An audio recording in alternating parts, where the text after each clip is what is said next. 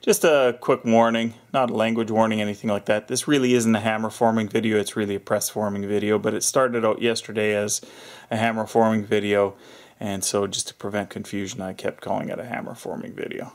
Okay, so I uh, plasma cut out a uh, metal, you know, blank to uh, use this. I use actually this, uh, yeah, that piece to as a pattern, so actually came out quite decent.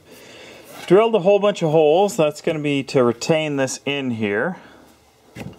And uh, I guess now I got to put it together. So let's see how we go here. I'm going to have to, uh, when I was drilling it out, it didn't have backing on the corners and it, it uh, pushed the uh, material out. Uh, but uh, I'm going to have to countersink all these screws, but uh, apart from that, I'll screw this thing together with, oh, I don't know, 30 screws. and we'll see how we go here.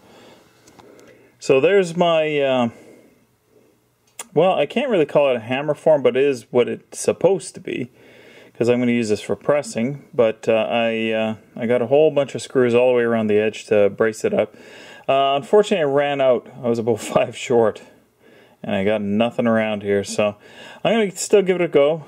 Um, I'm pressing from, obviously this side is meant to be the flat side, so that's facing down, and this will be the side I'll press from. I'll put my little uh, ham stake in here, and I'll put some spacers. Some, uh, it's approximately half an inch all the way around, so I'll get some nuts that are approximately that uh, that depth, width, whatever you want to call it, and uh, and space it around it. And I'll press down on this. I'll use another one. I've got some scrap pieces of these uh, biscuits here, and uh, and we'll uh, give this a go right now. I'm not going to wait until tomorrow, even though it's getting dark out there. You know, it actually wasn't a bad day out, but that day is is gone. So I want to get out here and I want to go in and actually have a bite to eat, but anyways. Hey, quit eating the apple tree. Fuckers. Anyways. Okay, so there's my press, such as it is. 30 ton, should be plenty good enough for this. I don't expect that this stuff would hold up to even one ton of pressure, but we'll see. I got a good plate here. Really, it'd be nice to have another one. But I've got my little nuts as spacers. Hopefully it won't end up squishing into the metal, but we'll we'll see.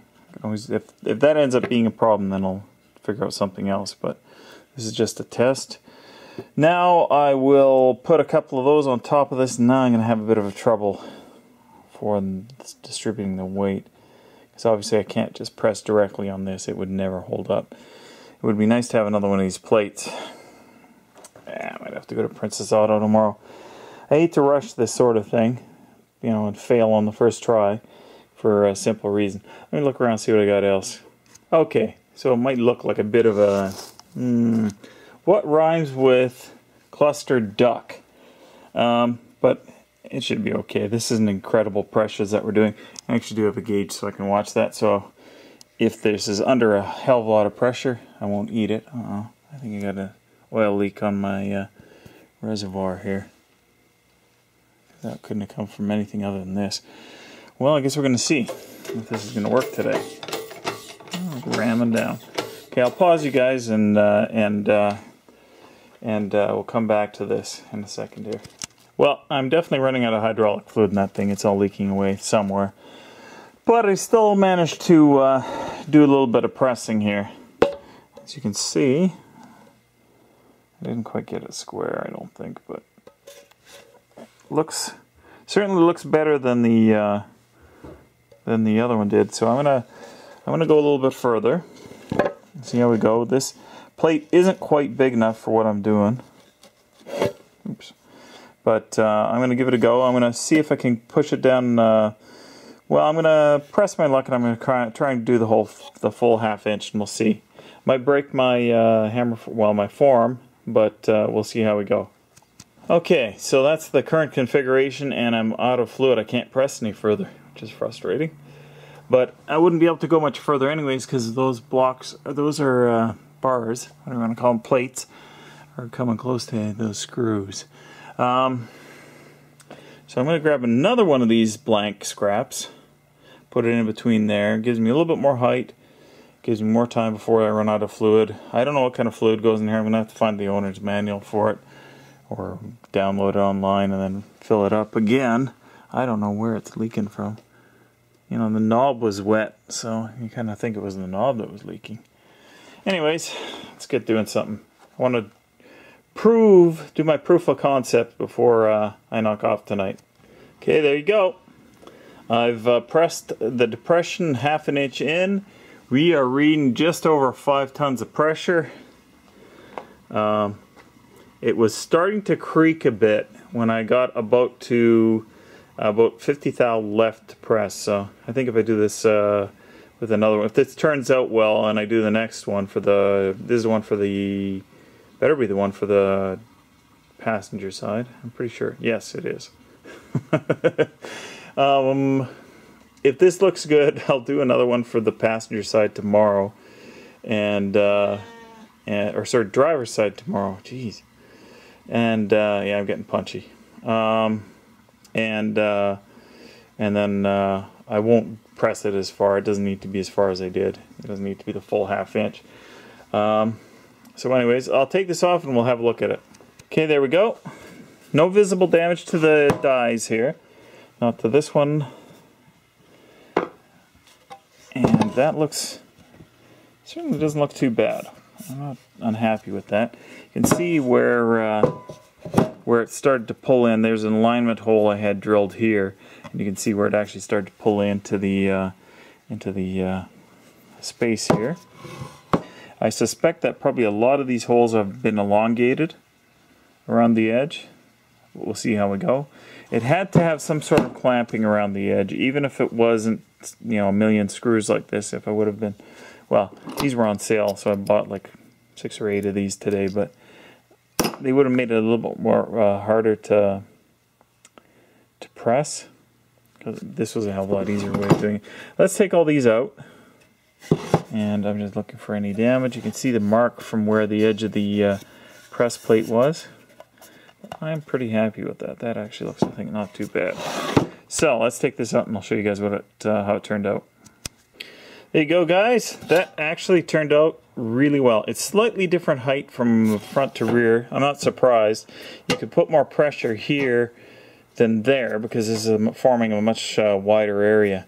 That's why if I was going to do this again, um, I would be smarter to find what's called the centroid or the center of mass of this location because that would in all likelihood be the best place to push at and it'll also helped to have you know like one big plate on the top and the bottom to even out the pressure uh, no damage to uh, either uh, either the the top or the bottom or to the to the ham steak here um, I'd say this looks like this turned out pretty damn good and I don't know that it would be uh, really obvious that it was uh, that it was a repair piece which is like what I said before. Now I still have more work to do on it. Obviously I have to flip the uh, the uh, or uh, roll the edges uh, like so. Um, now all of these uh, you um, before I unwrap this I think I said that uh, I expect that these holes elongated and you can see that some of them did. It should be pretty obvious there. Some of them didn't actually. Um, that puckered a bit there because if you really think about it, I've just pulled all the metal into here, so in, uh, in effect, I've pulled this piece together as well, even though it was trapped by the uh, by the metal. This actually, this piece was standing just slightly outside of it. Uh, I could have made a bigger, slightly bigger piece, and you know had screws going all the way around, and it probably would have pulled a little bit more evenly. But hey, I'm not going to complain. That looks pretty good to me you know, it looks like it, it fits with, uh, with my idea here. All of these screw holes, for the most part, uh, should be outside of the uh, lip that's going to be rolled over. Looks like I put a little bit more on that side than I did on that side. This side doesn't matter because that's going to be tr trimmed flush with this edge. And it would probably even be trimmed more, actually. But uh, overall, I'm very, very, very satisfied with how that turned out. I think that is a very viable way of forming it. Now, for the technical sticklers out there, I'm still calling this a hammer forming video, even though it was, you know, press forming. Uh, you know, it's uh, it's what I started out doing, and that's uh, there still will be more hammer forming for forming the the, the uh, edges here. But you can see when you compare the two pieces, granted this is for opposite sides, but that looks it looks factory in my opinion. It looks factory, whereas this, you know, would have been adequate for something underneath the body. Uh, this, I wouldn't have a problem doing this on a piece that was uh, that was going to be seen all the time, because that turned out quite quite well. Anyways, it's getting pretty late. It's uh, pitch black out there, and and I would like to go in and have a bite to eat and actually upload this video before midnight. So I will see you guys tomorrow and uh, we'll try the passenger side next.